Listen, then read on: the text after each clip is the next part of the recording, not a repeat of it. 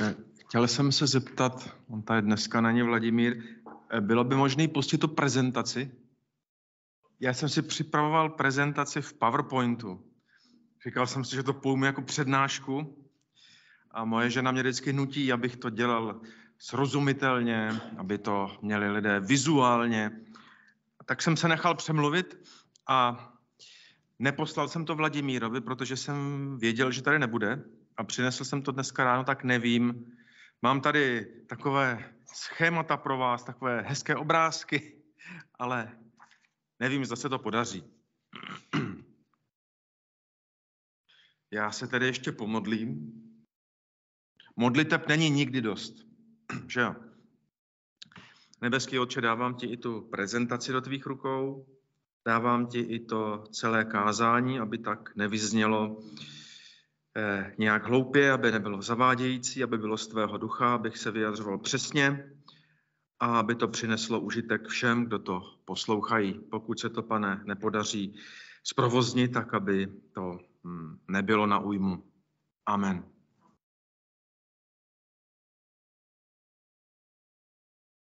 Výborně. To je vynikající. Moc děkuji všem zúčastněným. Takže já jsem tam, není tam název. Takže dneska by se to kázání mělo jmenovat jako muže a ženu stvořil jest. Proč jsem si vybral tohle kázání? Eh, není to téma, které by mi bylo nějak blízko. Já jsem se spíš vždycky zabýval nějakým učením nebo eh, výkladem a tohle to je samozřejmě výklad, ale je to takové téma, které považuji v současné době za velice důležité, protože na něm padlo lidstvo a ďábel neustále od Genesis až do dnes proti tomuto útočí. Můj první kazatel vždycky říkal, když máš nějakou prezentaci, tak ty to lidem promítneš, oni tě přestanou poslouchat a budou číst, co tam mají. Takže záleží na vás, ale mám tady pár veršů, které bych rád přečetla, podíval se na ně. To první je výběr veršů z Genesis, z první kapitoly až páté kapitoly. Jo? Jsou tam mezi tím určité mezery, které jsou označené tečkami a něco je tam zvýrazněno. Takže já bych to přečetl. Genesis, první až pátá kapitola, vybrané verše. Bůh stvořil člověka, aby byl jeho obrazem. Stvořil ho, aby byl obrazem božím. Jako muže a ženu je stvořil. Jako muže a ženu je stvořil, požehnal jim a v den, kdy je stvořil, dal jim jméno Adam, to jest člověk.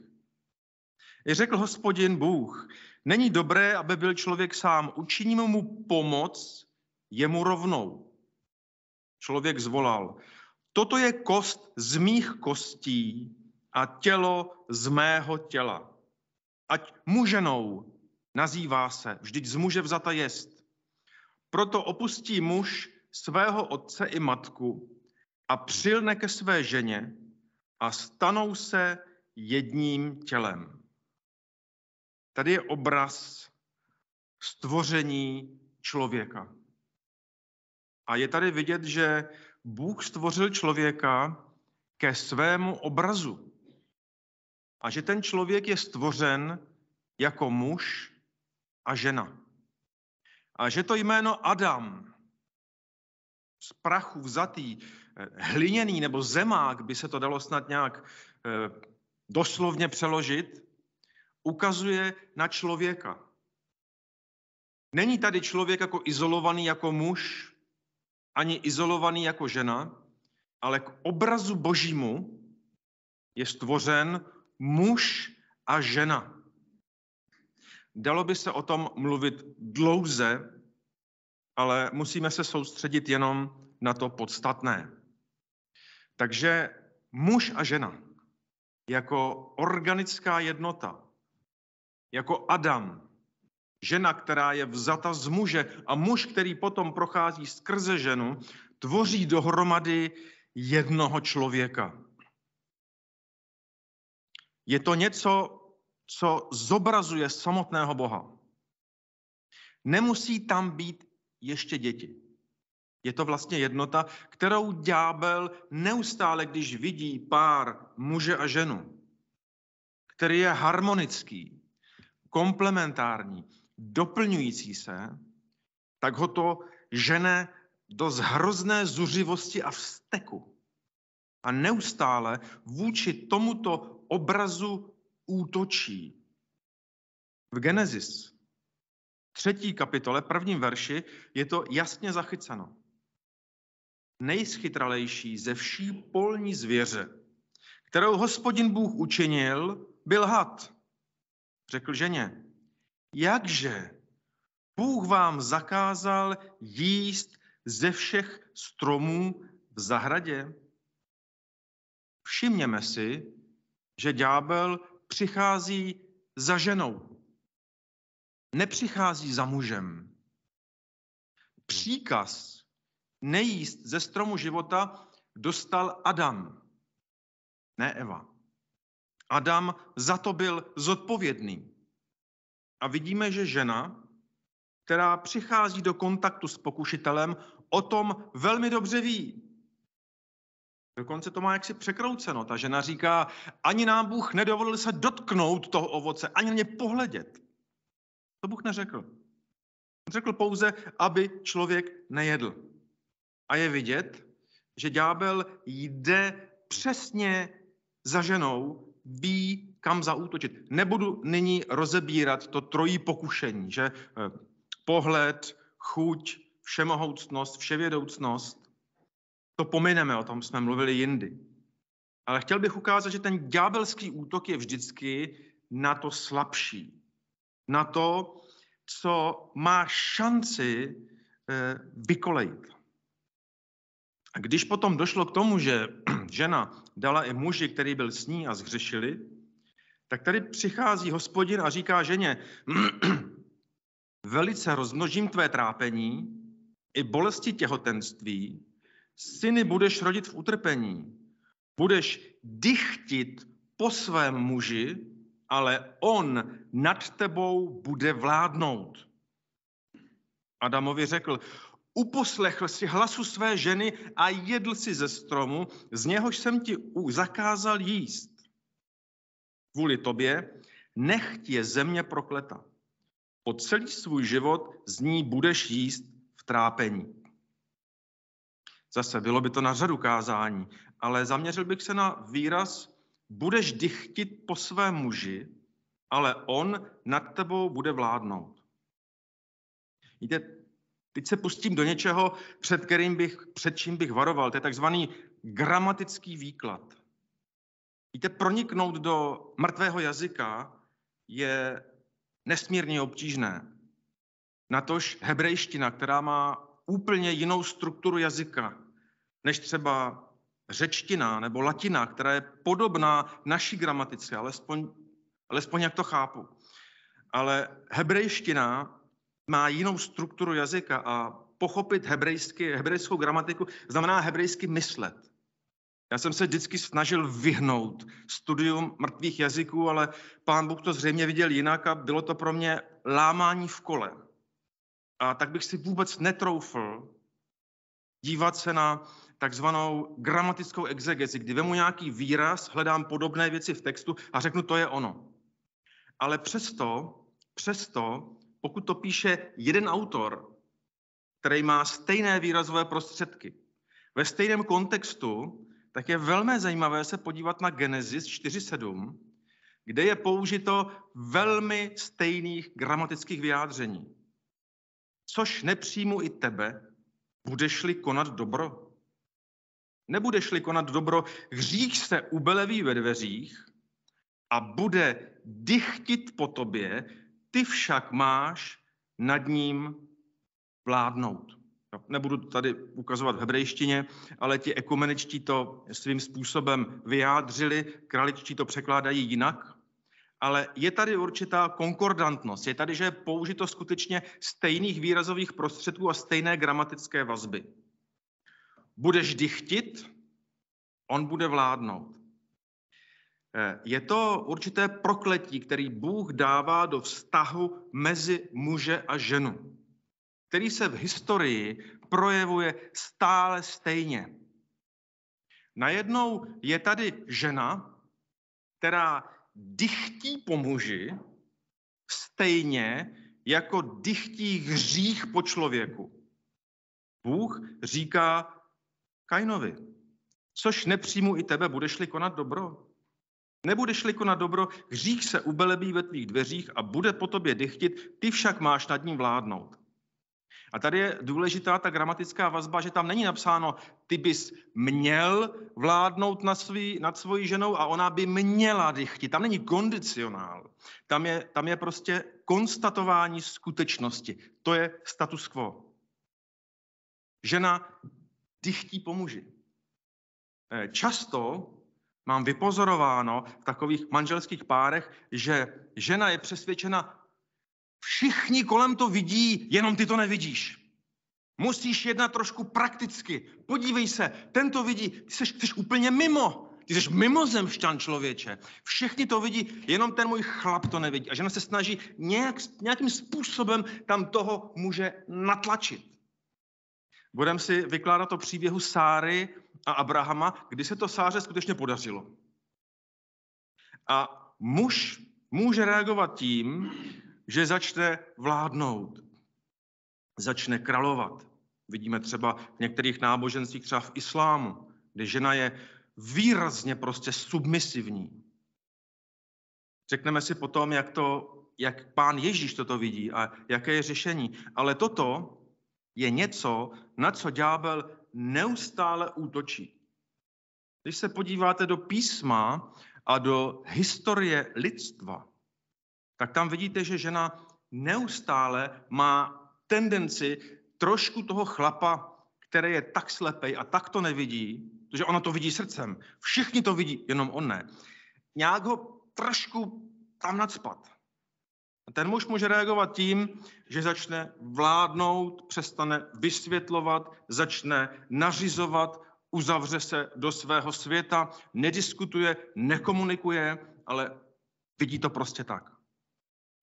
Do té harmonie, kdy žena je učiněna jako pomoc člověku, Adamovi, rovnou, přichází ďábel a snaží se udělat z manželství despoci, kde muž ženu bije, kde ji mlátí, a nebo submisivní manželství, kde manžel žije pod pantoflem své ženy. Tady je napsáno, že žena byla stvořena jako pomoc jemu rovná. A je tady slovo ezer. A feministky často mají s tímto problém, že by žena byla pomoc muži. Víte, i o Bohu je napsáno, že je ezer a že je, nám, že je pomocný člověku, že člověku pomáhá. Být pomocník není něco méně ceného. A tak je tady rovnost a zároveň odlišnost. Hlava a tělo. Žena, která pochází z, mu, z muže a muž, který pochází skrze ženu. Ďábel se od jak živa snaží toto rozbít a udělat z ženy hlavu a nebo z ní udělat kus hadru. E, Izajáš, třetí kapitola, 12. verš říká, a můj lid pacholata jsou jeho poháněči a vládnou mu ženy. Můj lidé, ti, kdo řídí tvé kroky, jsou svůdci a matou cestu tvého putování. Když někdo říká, že má vládnout žena, že má být ve vedoucích funkcích, že má být matriarchát, že žena je dokonce víc než muž, tak eh, jsou to svůdci a matou cestu putování božího lidu. A tady je vidět, že dokonce už i děti pacholata jsou poháněni a vládnou mu ženy. Koukněte se, jak je teď velká snaha vtáhnout ženy do toho, aby něco vedly, aby eh, byli hlavou národů. Ale oni k tomu nejsou stvořeny. Dokonce ani nemá žena učit a mít autoritu nad mužem v církvi, ale je muže rovna, má jenom jinou úlohu. A ďábel neustále chodí za ženou, jakže Bůh ti zakázal, ty nesmíš, pardon, přeskakuje hlas, ty chudinko, s tebou je to špatný. A ten tvůj muž, on je úplně slepý, on nic nevidí. Musíš ho trošku, trošku navést. Ty jsi přece ten krk, který hejbá tou hlavou. A muži říká, prosím tě, vůbec, vůbec neposlouchej, co ti ta ženská říká. Vůbec tomu nerozumí. Jeď si po své vlastní linii. A není tady vůbec jakoby ta komplementarita, že jsou si rovni, ale rozdílní. A proto vidíme, že ďábel se snaží ženu vmanipulovat do úlohy, pro kterou nebyla Bohem stvořena. Protože on ví, že žena je citlivější na svody. Pavel to říká jasně. První Timoteovi, druhá kapitola 12 až 15. Učit ženě nedovoluji. Žena nemá mít moc nad mužem, nýbrž má se nechat vést. Vždyť první byl stvořen Adam a pak Eva. A nebyl to Adam, kdo byl oklamán, ale žena byla oklamána a dopustila se přestoupení. Spasena bude jako matka, jestliže se trvá ve víře, lásce, svatosti a střízlivosti. Vidíme, že ta žena má úlohu být matkou, eh, dělat rodinné zázemí, doplňovat toho muže, ale tvoří jednu bytost dohromady. A žena nemá mít moc nad mužem. Prosil bych další slide, jestli mohu. Nevím, jestli to pro vás bude viditelné, tam z těch zadních řad asi ne. Ale mám tady pár snímků od feminismu LGBT plus hnutí. Po celá staletí v těch křesťanských zemích nějakým způsobem, plus minus, ta komplementarita byla zachována. Samozřejmě byly tady ženy, které v těch některých zemích ovládali ty muže, byli tady prostě muži, kteří byli nevěrní svým ženám, eh, terorizovali a podobně, ale vždycky to bylo bráno jako něco nenormálního. Bylo to bráno jako hřích. A zhruba v 19. století přichází první vlna feminismu. Já jsem si ty definice vzal z Wikipedie, takže to nejsou moje vlastní myšlenky. Trošku jsem je parafrázoval.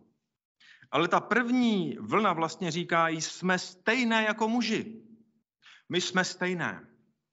19. století až počátkem 20. století dala vzniknout feminismu jako takovému a bojovala především za právo žen volit a vlastnit majetek.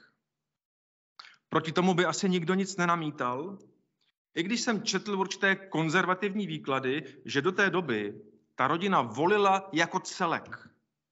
No, dejme tomu, že byste se eh, doma udělali poradu, koho volit, a ten muž by potom to rozhodnutí nesl za tu celou rodinu a ten majetek patří rodině jako celku. Není možné vidět ženu ani muže, ale ve chvíli, kdy dochází k takové diferenciaci, kdy každý ten subjekt jede sám za sebe, tak dochází k určité polarizaci na kterou se potom navazuje dál. V 60. letech 20. století vzniká druhá vlna feminismu, která by se dala říct, nepotřebujeme muže. To první říká, no jsme tady každý sám za sebe, ale nějak musíme spolupracovat. A další vlna říká, nepotřebujeme muže. To je tady žena údernice, žena kombajnérka, tom prvním je takový snímek, který si ho vidíte, je žena s cigaretou, prostě s knihou, intelektuálka, která vlastně už eh, nemá jako prioritu rodinu, prostě buduje svoji kariéru. Ty společnosti jako Philip Morris vnutili že nám kouření, že to prostě tě emancipuje, byla tam úplná manipulace v tom. A ta druhá říká, my ty, my ty muže vlastně nepotřebujeme. Slyšel jsem jeden takový příběh, který je pravdivý, že na jedné univerzitě byla prostě na eh, katedře nějakých genderových studiích prostě profesorka, která říká, já už k ničemu nepotřebuji muže. A v tom jí padla prezentace, Vašku, pomoz mi, prosím tě. Takže je ale zvláštní, že za feminismem často nestojí ženy. Jsou mužské ideologie. Žena řeční na tribuně proti mužům, kterou postavil muž. Jo? Najednou prostě je tady separace, pak už úplné oddělení. A třetí vlna feminismu v podstatě říká, jsme muži. Nejen, že jsme stejní, nejen, že nepotřebujeme, my jsme vlastně muži. A přicházejí různé ty vousaté ženy s plnovousem a muž, který má prsa a podobně. Eh, vzniká na počátku druhého milénia spolu s LGBT hnutím. Jedná se o boj s genderovými nebo genderovými stereotypy a rolemi jako prostředku, který přispívá i k mužské liberalizaci. No?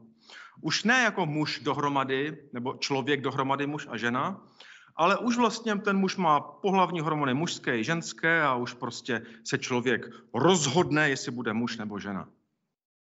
Často ironicky říkám, přichází doba, kdy sice nebude svoboda projevu, nebude teplo, nebude plyn, nebude jídlo, ale můžete si svobodně vybrat několikrát do roka, jestli jste muž nebo žena. No a pokud je vám to málo, tak máte 71 dalších voleb. Není to úžasné? Takovou svobodu. Teď to vlastně nikdo neměl po celá staletí. Jo? Tak sice bude mi doma zima, nebudu mít co jíst, ale řeknu si tak, dneska jsem žena, zítra budu muž, pozítří budu mlok třeba. Úžasná svoboda, jak to osvobozuje lidstvo. A čtvrtá vlna feminismu, ta už v té Wikipedii není, říká, jsme ženy. Ta žena vypadá jako žena a má definice je. Jedná se o nebezpečný trend, křesťanského fundamentalismu, který reaguje na feminismus a dává ženu na roveň muže, ale přisuzuje jí odlišné fyziognomické znaky a odlišnou společenskou úlohu. No to je strašné, že? Ta žena vypadá jako žena, chová se jako žena, no hrůza. Víte, jak musí ďábel zuřit? Žena má další vlasy, jinak se obléká, jinak myslí, je podána svému muži, muž ji miluje, no to, to vidí obraz boží v člověku, no to musí rozbít za každou cenu. Takže tady je takový trošinku eh, nadnesený diskurs vývoje feminismu od toho 19. do 20. století. Prosil bych ještě eh, jeden slide. Tady jsem si dovolil, abyste nebyli úplně nevzdělaní, tak vám trošinku popsat eh, ta jednotlivá pohlaví, ono jich je 71. A já jsem byl šokován, že Eh, naše kandidátka na prezidentku je nedokázala ani výjmenovat. Jo. Ona správně věděla, že muž a žena nejsou a řekla, že je jenom pět pohlaví. Jak můžu volit za prezidentku tak omezeného člověka, který nedokáže výjmenovat 71 pohlaví a řekne, že jich je jenom pět? Taková tmářka. Já nemůžu, jako to, to je naprostý anachronismus. A proto vám přečtu alespoň několik těch typů. První je nebinární nebo genderqueer osoby. To jsou obecné označení pro všechny, kdo nezapadá do žádné kategorie. Že jo? Ani muž, ani žena. Pak jsou gender, nevím, jestli je to gender nebo gender, jestli je to anglikanizovaný nebo jako z latiny to číst, ale dobře, řekneme gender. Třeba gender fluidní osoby, jejich identita se mění. Jo? Chvilku jsem žena, pak jsem muž, pak jsem zase žena a dokonce někde jsem četl, že se snad v Německu prosadilo, že si každý může jednou do roka změnit pohlaví. Já si říkám, to je strašně málo. Taková diskriminace, to je třeba změnit samozřejmě. Pak máte bigender osoby, genderová identita se mění v závislosti na kontextu nebo situaci. Že jo? To, ta první skupina se mění a ta, která je odlišná, tak ta už je na kontextu nebo situaci. Pak jsou tri gender, tedy gender osoby, genderová identita se pohybuje mezi mužskou, ženskou a třetím pohlavím v závislosti na situaci. Vidíte, že je to úplně něco odlišného. Pak jsou pan-gender osoby, ta identita je souhrnem všech identit. Pak jsou polygender osoby, ta identita je souhrnem všech identit, ne však všech. Zase něco úplně odlišného vidíte. Jo? Tak si to pamatujte, prosím vás abyste to věděli, se vás někdo zeptá, jaký je rozdíl mezi polygender nebo polygender a pangender nebo trigender, abyste to dokázali vysvětlit. To velmi důležité. Pak jsou a genderové osoby, necítí příslušnost k žádné genderové identitě. Pak jsou genderless, víte, že to amerikanismus, anglikanismus, ty se neidentifikují s žádným genderem. A pak je dvojí duch, to jsou osoby, které ve svém životě naplňují role obou tradičních pohlaví. Tak vidíte, že to velmi jednoduché a že každý studovaný člověk jasně rozpozná, že těch pohlaví je tady víc. A pak tady máte ještě různé takové, ještě zpátky bych poprosil. Tak tady vidíte, že těch jednotlivých kategorií jsou pak ještě různé odstíny. Takže buď se vám to mění, mění se to v závislosti na situaci, jste souhrnem všech, jste souhrnem všech, ne však úplně všech, nebo jo, a tak, abyste to všechno dobře věděli, abyste byli in. Protože od, to, od takových těch stereotypů muž a žena nás dnešní společnost osvobozuje. Můžeme být konečně svobodní. Eh, další obrázek bych poprosil. Tady jsem si dovolil vám ne, udělat takový, vidím, že jsem si to ani nevytisknul, mám to tady sebou, nevidí. Tady máte, to je mapa světa podle jednotlivých náboženství. Eh, abych vám to přiblížil, tak to modré, to je protestantismus a to růžové, to je pravoslaví. Jo? Eh, a pak tam máte ještě římský katolicismus, který je, on je trošku podobně fialový. Takže růžová jsou pravoslavní, fialová jsou eh, katolíci a modrá jsou protestanti. Ono to tady bohužel nevidíte zblízka, ale já jsem si našel potom v literatuře země, které jsou ještě neprogresivní, které pronásledují to ostatní pohlaví. A to pronásledování je pouze to, že nemají legislativně umožněno, aby se mohli mezi sebou třeba brát, a nebo dokonce vůbec ty lidé v té zemi ani nevidí, jaký je rozdíl mezi polygender a pangender a neutrozis a agender a genderless a podobně, tak eh, to je pro následování. To je prostě něco, kdy, kdy ti lidé nemohou rozvinout svobodně své pohlaví. Vidíte, že protestantské země jsou v pohodě. Tam se to podařilo prosadit. Když se kouknete na Spojené státy, Německo, tedy aspoň ty luteránské oblasti, když se podíváte na skandinávské země, Dánsko, Finsko, Švédsko, pak ještě Holandsko, ty jsou, to jsou, to je výkvět. Víte, že jako protestanti, kam se na nás hrabou katolíci a, a pravoslavní, už vůbec ne. Můžeme být hrdí, jdeme s dobou. Česká a Slovenská republika ještě na tom nejsou až tak dobře, tam, tam jako říkají, už, už je to na dobré cestě, ale pořád ještě tam jsou ty stereotypy a ti lidé prostě nejsou přijímáni. A dokonce se stává, že když si někdo změní pohlaví, tak z té skupiny zhruba asi 40% páchá sebevraždu. A to je tím, že jsou nedostatečně přijímáni. To není tím, že jim změníte hladinu hormonů, ani to, že se v nich něco stane, nebo že by byli nějak vykolejeni, ale je to proto, že jsou nedostatečně přijímáni po té změně. Jo? To potom působí tohleto. Pak tam máte země, kde máte D, a to je vyloženě diskriminace. Absolutně nejhorší je Rusko a Srbsko. Takže doufejme, až budou teď poraženi, že se to podaří konečně změnit, protože tam jsou sta tisíce lidí, sta tisíce žen a mužů, kteří jsou uvězněni v těle žen a muži, kteří jsou uvězněni, eh, ženy, které jsou uvězněni v těle mužů. Nejhorší je, že oni si to vůbec neuvědomují a ani nevědí, že trpí. Oni se tím vůbec netrápí. Takže doufejme, že jim to bude vysvětleno a že eh, budou osvobozeni. Takže takové ty země, speciálně země slovanské a pravoslavné, tam je to úplně hrozné. Rumunsko, Bulharsko, Bělorusko, jo?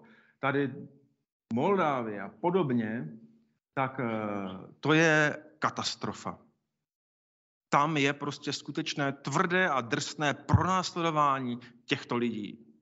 A ti lidé ani nevědí, že jsou pronásledováni. Oni ani nevědí, že trpí. Oni jsou, jsou prostě ženy, které jsou muži a nevědí to. A bude potřeba jim to vysvětlit, abychom je osvobodili. V těch katolických zemích tam to tak jednoznačné není. Tam samozřejmě tam nejsou tak dobří jako ti protestanti. Jsou už na, na cestě pokroku, ale pořád to není až tak, jak by si tam lidé prostě představovali. Jo, samozřejmě ty hinduistické země, tam si člověk může potom narodit v dalším životě jako muž nebo žena. Tam ta svoboda je v tom náboženství.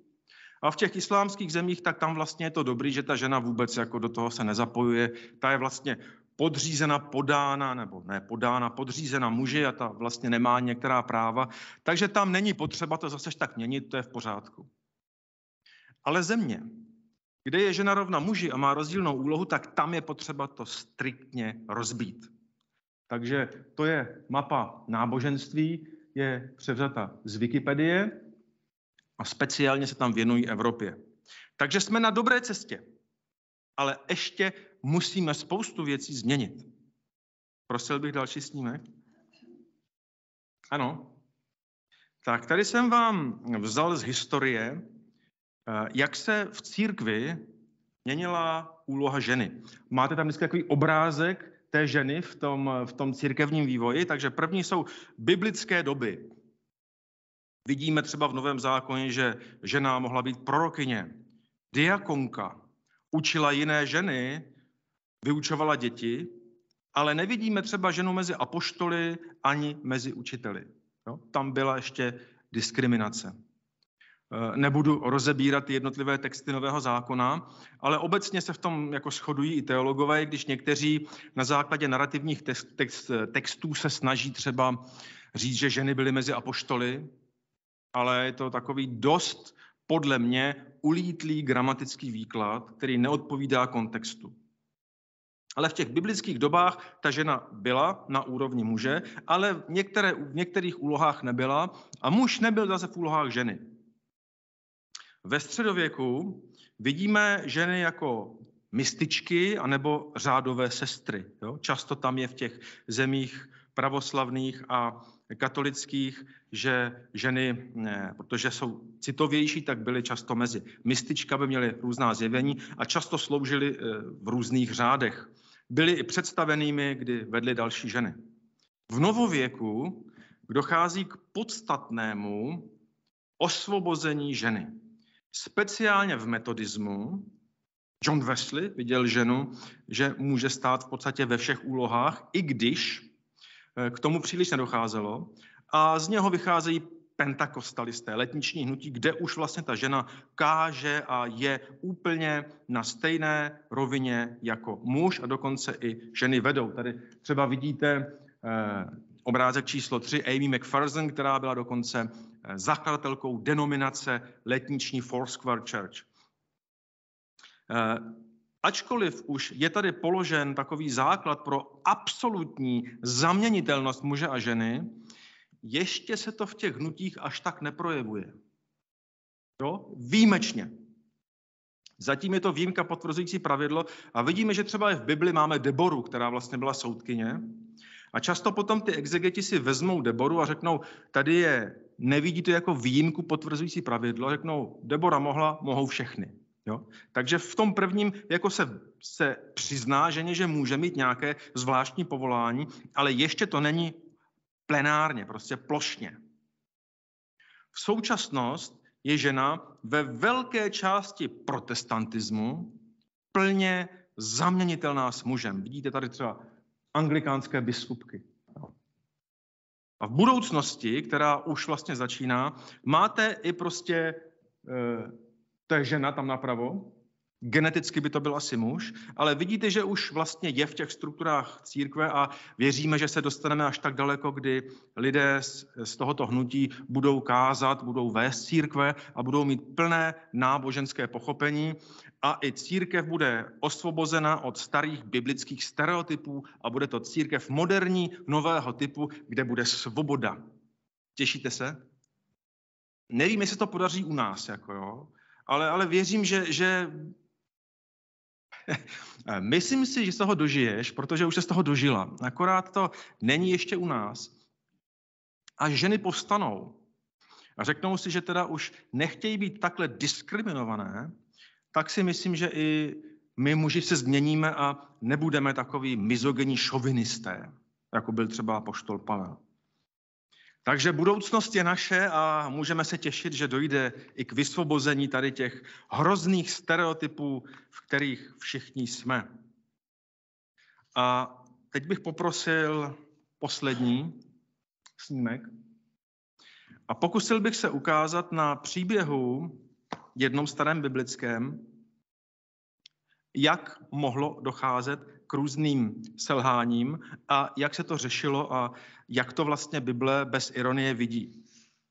První Petrova, třetí kapitola, od prvního do sedmého verše říká, stejně i vy ženy, podřizujte se svým mužům, i když se někteří z nich vzpírají božímu slovu. Můžete je beze slov získat svým jednáním, když uvidí váš čistý život v bázni boží. Pro vás se nehodí vnější ozdoba, splétat si vlasy, pověšovat se zlatem, střídat oděvy, nýbrž to, co je skryto v srdci a co je nepomíjitelné. Tichý a pokojný duch, to je před Bohem převzácné. Tak se kdysi zdobily svaté ženy, které doufali v Boha. Podřizovali se svým mužům, tak jako Sára poslouchala Abrahama a nazvala jej pánem. Vy jste jejími dcerami, jednáte-li dobře, a nedáte se ničím zastrašit. Stejně i muži, když žijete se svými ženami, mějte pro ně porozumění, že jsou slabší a prokazujte jim úctu, protože jsou spolu s vámi dědičkami daru života. Tak vašim modlitbám nebude nic překážet. Je to vztah Krista a církve, kdy Kristus se vydává za církev, říká vojákům, je nechte být, já jsem tady, mě si vemte. Je to muž, který pokládá život za svoji ženu a za svoji rodinu. Má pochopení, že žena je slabší a prokazuje jí úctu. Bible na mnoha místech ukazuje, eh, že žena má být podřízena a muži neustále znovu a znovu připomíná, že má svoji ženu milovat. Má pro ní mít pochopení a má jí prokazovat úctu. Ale cílem je služba Bohu. Četl jsem jednu knížku, kde jeden autor říká, že Bůh udělal manželství tak těžké, aby to bez Krista nešlo. Bez společných modliteb, bez společného studia písma manželství nebude fungovat a budou se tady projevovat ty tendence, že žena bude neustále vidět toho svého muže jako někoho, který prostě nevidí, co vidí ostatní, a žena často cítí srdcem a myslí si, že ten muž je vševědoucí a že když něco řekne, že on jí vidí do hlavy a ví přesně, na co myslí. A ten muž potom bude vlastně tu ženu vidět jako takovou něco, jako, co ho zdržuje, co neustále ho rozptiluje, chtěl by mít klid na svoji práci, na svoji službu a bude upozadňovat tu ženu jako běž a neuvědomuje si, že služba jeho rodině je důležitější než zaměstnání a než služba v církvi. Proto také Bible říká, že starší, pokud nedokáže vést svoji rodinu, tak nemá být starším. Muž bude neustále odváděn k vyšším cílům, než k nějakým prostě rodina tady, děti nemocný, manželka zas něco, teď já mám poslání od Boha. A žena bude říkat, ten muž žije někde v oblacích, nedokáže pochopit, porozumět, nemá cit, já mu to musím vysvětlit. Víte, není napsáno, když muž něco neví, ať se doma zeptá své ženy ona mu to vysvětlí. Co je napsáno? Když žena něco neví, ať se doma zeptá svého muže a oni to vysvětlí. Jo? Jak se to ďábel neustále snaží převrátit. A teď bych se trošku podíval na něco, není to příjemné ani muži, ani ženě tohle poslouchat. Jo? Vidíme, že v tom máme prostě svoje minusy. Ale podívejte se, že Sára nazvala Abrahama, jak ho nazvala? Pánem. Víte, že kvůli němu dvakrát skončila v harému? Že prostě byl tak zbabělej, tak se domluvil, já budu říkat, že jsi sestra. A že to bylo v Egyptě a v Geraru. Že vlastně ona skončila, díky tomu, že on nedokázal stát, tak měl, že skončila v harému. Že Bůh musel zasáhnout. Je možný takovýho budíš k ničemu, takového zbabilce nazvat pánem? Já myslím, že jo. Ona viděla jeho těžké boje, které měl. A chápala to. Chápala, že je to muž, že to vidí jinak, že má jiné problémy a že ona je žena. A vidíme tady taky eh, samozřejmě, že jo, ten muž, já mám svůj cíl. Země výjde Mesiáš. Tak, aby to, abych kvůli ty sáře neměl nějaký problémy. Eh, řekni si, sestra. A ani nevidíme, že by se nějak příliš trápil, že ta Sára je v harému. Asi se trápil. Ale vidíme tady tuto negativní věc, že ten muž má své poslání a tak prostě ta žena, jako no, mohl bych kvůli tobě mít problémy, jsi moc hezká, tady všichni po tobě půjdou, konec konců domluvíme se, ty jsi sestra. A udělal to dvakrát ty sáře. Víte, jak by dnešní žena reagovala? Ten můj chlap prostě je takový zbabilec, že já tady dvakrát jsem vydán na cizímu chlapovi a on tady prostě má své poslání jako náboží vůli. No to by byl doma pohovor. By šel na kobereček, klečel by a dostal by za ucho, jak to má dělat. A Sára taky věděla, jak vlastně, když máš to povolání, nejde to, jsi moc velký idealista, čekáš, tak to, podívej se, uděláme to po svým. Tady mám otrokyni Hagar, a Abraham se rozhodl, no když to prostě nejde tou boží cestou, tak ta Sára je přece praktičtější, že? Ona ví, jak na to. Tak si pořídil zaslíbeného syna z pohanské otrokyně. Izmael. Do dneška, do dneška židé mají s Izmaelem problém. Izmaelovi se přihlásili arabové a muslimové. A ten Izmael začal pronásledovat, když se konečně narodil Izák, tak ho pronásledoval. Do dneška Izmael pronásleduje Izáka.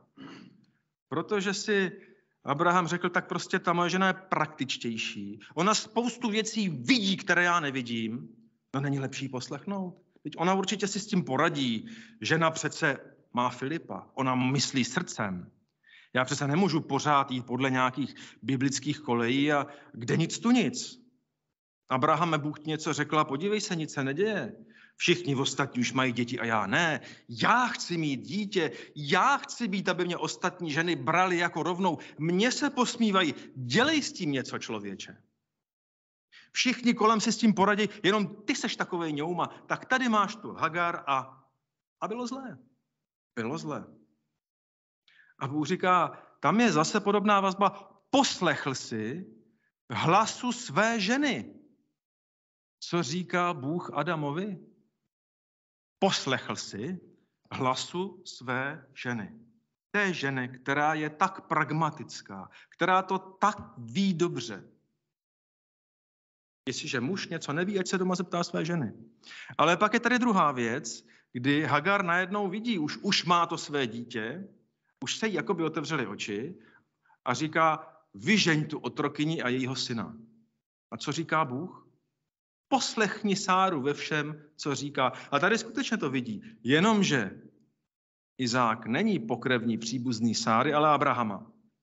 A najednou Abraham musí nést důsledky toho, že ji poslechl a nyní má poslechnout znova a má vyhnat svého skutečného syna. To muselo být nesmírně těžký. A teď přichází ke třetí věci. Představte si, že Bůh říká Abrahamovi, aby šel a toho syna ze Sáry obětoval. Co si myslíte, že by se stalo, kdyby se šel poradit se Sárou? Sáro, Bůh mi řekl, abych toho našeho syna vzal. a abych ho obětoval. Jo, Abrahame, běž, poslechni hospodina ve všem, co říká. Myslíte, že by to takhle dopadlo? Myslím si, že ne. Jo? Pokud se jedná o děti, tak jejich směřování a jejich výchova leží na muži. A slyšel jsem takový zajímavý výklad, že když se potom Sára dozvěděla, co tam Abrahamem zamýšlel, že zemřela. Těsně poté na ty hoře Morie je vidět, že Sára zemřela. Nemyslím si, že by to byl výklad úplně správný, ale myslím, že tady už vidíme Abrahama, který je poučen. A zatímco se s tou Sárou radil, tak eh, prostě vydat své dítě jako oběť Bohu, může to být obraz i pro nás a pro naše děti, kdy eh, ty děti, když budou v božím povolání, když budou nějak Bohu sloužit, ono je to nějak omezuje. A ta žena zase má tolik pragmatických řešení. Eh, ne, ne všechny ženy. Jo? Ale vidíme, že se zřejmě Abraham poučil a když měl udělat tu nejvyšší zkoušku ve svém životě a když si je muž jistý, že ho Bůh k něčemu volá, když je mu to nad slunce jasné, tak už nemůže poslechnout hlasu nikoho. Eh, vidíte, že mám nové brýle. Já jsem bez brýlí skoro slepý. Já mám tady dole 7 dioptrií, tady 5,5 a 5 a 3 čtvrtě od svého dětství. Jo. Od malička jsem je prostě kvůli tomu smáli a já třeba, jestli si vzpomínáte dřív, když jsem takhle četl, tak jsem si je různě takhle nakláněl, teď už vidím dobře. A moje žena mě neustále nutila, abych si pořídil nové brýle. Víte, kolik stojí takovýhle bifokály, aby člověk viděl? Navíc to jsou takový lupy, jsou samozabarvovací, aby mi nevypálilo slunce oči. A moje žena stále chodila jako podívej se, seš učitel, čteš tam ty texty, mm, já nevím, čteš protokoly, měl bys dobře vidět. Já jsem říkal, už mi pořizovali braille mnohokrát a vždycky to dopadlo špatně. A nakonec jsem tedy eh, když jsem byl ve slabosti, tak žena znovu řekla, tak jsem říkal, dobře, ať už mám pokoj, já k tomu optikovi půjdu, dostanu ty braille, bude to stát spoustu peněz a já je pak nebudu nosit, aby konečně žena viděla, že, že prostě je to nesmysl. Takhle jsem uvažoval. Doufám, že mi ta Lenka nebude nadávat doma, že tady říkám. No a potom jsem přišel domů, brýle jsem schoval do šuplíku a vzal jsem si staré jsem si říkal, ta, ta, ta bude, jako teď, teď, teď, teď ti to nandám, jo? teď prostě bude vidět, že si prosadila svoje. A ona se tak usmála, s takovou láskou říká, ale to jsou tvoje oči, ne moje, já jsem ti chtěla pomoct. A bylo to jako kdyby někdo nasypal řežavý uhlí na hlavu. Já jsem pak ty brejle vyzkoušel a zjistil jsem, že přes ně vidím. Jo. A tady je napsáno jedna věc. E, můžete je získat svým pokorným jednáním, i když se spírají božímu slovu. Můžete je beze slov získat svým jednáním. Muž je nesmírně silný na manipulaci. Muž to vycítí a ta žena, když se snaží prostě manipulovat, tak on si najde, jak, jak to neslyšet, jak to nějak překonat. Ale když ta žena to udělá pokorným způsobem, tak to pro toho chlapa je dost těžký. Já řeknu naposled jeden příběh, který jsem slyšel z kázání Rudka Bubíka, často to opakoval, také jsem to už tady mnohokrát říkal, ale i apoštol Pavel neustále opakoval svá svědectví. Bylo jedno manželství, kde byl muž a žena. A ta žena byla velmi nervózní a neustále toho muže zahrnovala spoustou a spoustou výčitek. A na toho muže to vedlo tomu, že se prostě stahoval do sebe a žil si ten svůj způsob života, nebyl příliš doma, byl v zaměstnání, jakmile přišel, šel na ryby, protože to nechtěl furt poslouchat ty výčitky a stupňovalo se, že? Ta žena pak měla pravdu, muž se o nic nestará a ten muž si říkal, lepší je bydlet někde na střeše, než prostě být s hádavou ženou v domácnosti, že? To říká i Bible. Tak vlastně tady Satan vlastně vypůsobil přesně to, že to prokletí se naplňovalo. On přestával tu ženu milovat a stahl se do svého světa a ta žena samozřejmě se cítila opuštěná, tak to tomu muži pořádávala. Pak se stalo, že ta žena šla na jedno kázání, které bylo trošku podobné tomuto. Bylo asi i lepší, protože ji změnilo. A přišla domů a muž byl na rybách. Přišel z těch ryb a měl rybářský průtek, byl nešikovný, tak s tím sundal lustr, lustr křišťálový spadnul na zem a rozsekal se. Muž se postavil ke stěně a udělal toto. Nadspal si uši.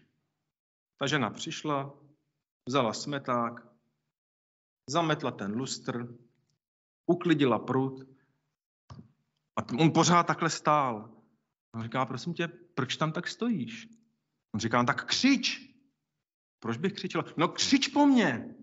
Proč bych na to měla křič? No rozbil jsem lustr. A ty jsi to udělal schválně? Teď se zarazil, říká, pojď, udělal jsem ti večeři, pojď si sednout.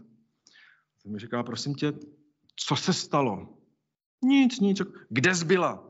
No, přiznala, byla jsem v jednom zboru, on byl nevěřící, tam prostě byl nějaký evangelista, který měl kázání. Říká, zítra tam půjdu s tebou, chci vidět toho chlapa, který tě dokázal změnit. A poznal Ježíše. To byl ten chlap, který změnil. Takže bych zakončil. Vidíme všude kolem sebe, v celé společnosti, v celém světě, že se ďábel snaží tohleto rozbít, narušit, jak ve společnosti. Vymýšlí prostě věci, nad kterými před stolety zůstaly lidem stát vlastně hrůzou na hlavě, kdyby jim člověk řekl, že bude 71 pohlaví a, a nevím co všechno. Takže Bible nám dává praktické a názorné ukázky, jak jednat. A vidíme, že klasické vždycky bylo můj vztah k Bohu, můj vztah k rodině, můj vztah k církvi, můj vztah k národu. Jo? Takoví ti národovci, eh, konzervativní křesťané říkali Bůh, rodina, vlast. Ďábel toto nenávidí. Rozbíjí vztah člověka k Bohu, rozbíjí rodinu a chce rozbít i národy. Chtěl bych v, v příštích kázáních mluvit člověk a jeho církev, jeho národ. Ale ta rodina je nesmírně důležitá, protože pokud nefunguje tohleto, člověk nemůže jít dál nemůže sloužit v církvi, pokud toto nefunguje, bude se to projevovat i ve službě toho člověka v církvi. Je to něco, co vidíme na všech možných úrovních. Jean-Jacques Rousseau psal knihy o rodině a aby na ně měl čas, tak své děti dal do chudobince, kde zemřeli, kromě jedny dcery snad. Takže nedá se učit nic, co člověk nebude nějak žít. A člověk to nikdy nenaplní. I ten Abraham a Sára, který jsou nám dány za vzor v písmu, tak vidíme, jak v některých věcech bojovali. Ale měli kam a k čemu se vrátit. Takže to je všechno z mé strany. Děkuji, že to podařilo zprovoznit a Bůh vám žehnej.